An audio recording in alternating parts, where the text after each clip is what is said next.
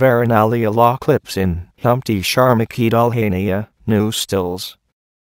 Humpty Sharma Ki Dulhania Akapavaranda one and Alia Bhatt has just turned cozier.